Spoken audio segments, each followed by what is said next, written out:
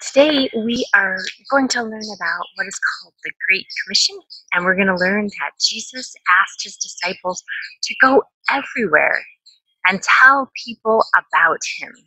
So, to get us started, there was this song that uh, was free to use, so I am going to use it and help us learn a little bit about the Great Commission.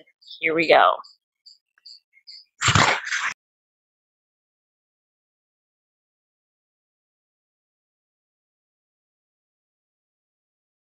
Hope you enjoyed that song and it's kind of a great introduction for what we're doing for the day, talking about the Great Commission. And in this story, Jesus asks his disciples to join him at the top of a mountain, and he commissions his disciples, which really means he gives them an important job to do. And we're going to find out that song gave it away, but we're going to find out more about what he asked them to do. So let's listen to the story here. I'm going to read from our Spark Bible, the Great Commission. Jesus went to see the disciples after he had been raised from the dead. They buzzed with excitement. Is that you, Jesus? We're so glad to see you. Do you want something to eat? Jesus smiled. Peace be with you he said, I have things to tell you. The disciples gathered close around Jesus, eager to listen to him. Jesus began, God has given me all the power in heaven and earth. The disciples looked at each other and began chattering again. Whoa, wonderful! We knew it! Fantastic! What will you do first? Wait, Jesus said, there's more. The disciples listened carefully. Go everywhere in the world and teach people about me. And remember, I will always be with you. Jesus returned to heaven. The happy disciples soon began the work Jesus had told them to do. So we're going to work a little bit on that memory verse.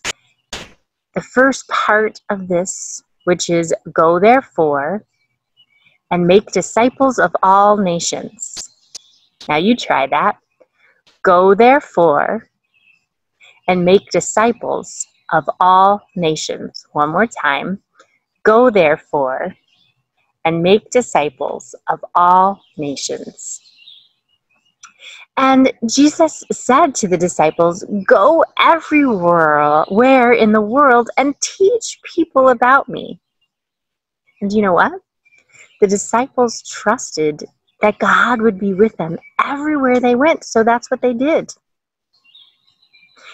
Here's the thing all of us are Jesus' disciples, and all of us can show and tell people about Jesus everywhere we go. There are places that are home, at our school, the places where we normally are in everyday life.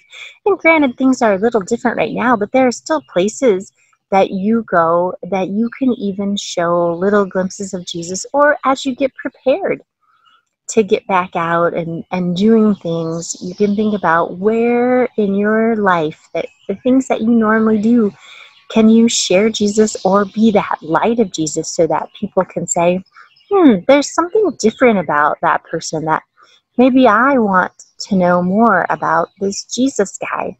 Or maybe it's just doing something nice for a neighbor right now. There's lots of ways that we can tell about Jesus in our everyday life.